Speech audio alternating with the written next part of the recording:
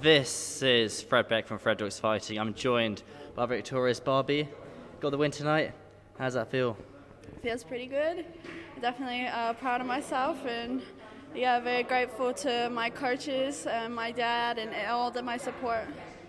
I guess you're one of the favourites to win. I guess most people are picking you and then obviously Elle to kind of be in the final or win the full tournament.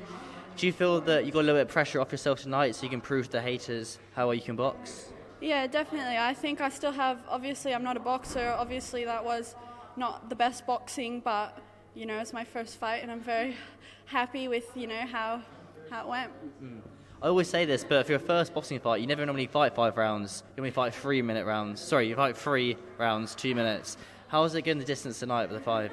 Yeah, I mean, I trained really hard. I mean, like a lot of people underestimate my stamina. Underest- a lot of people underestimate can't speak. A lot of people underestimate your stamina. Yeah, it's a tongue twister. Yeah, but I think that was really stupid on their part, considering how much weight I had to come down.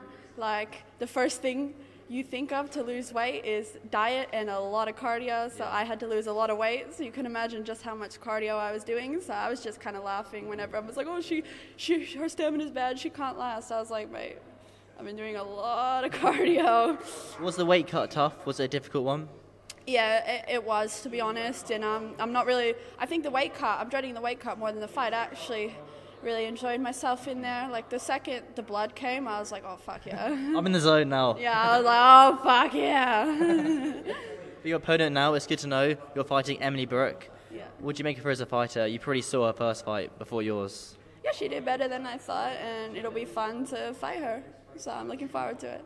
Do you rank? Where do you, would you rank Emily Brooke out of all the fighters in the tournament, all the female ones? Well, I haven't really seen anyone else true, yet, true. so I can't I can't comment. But I'm really excited to be able to like go take a seat in the audience and cheer on every other fighter tonight. Awesome, appreciate it. Thanks so much, Thank Barbie. You.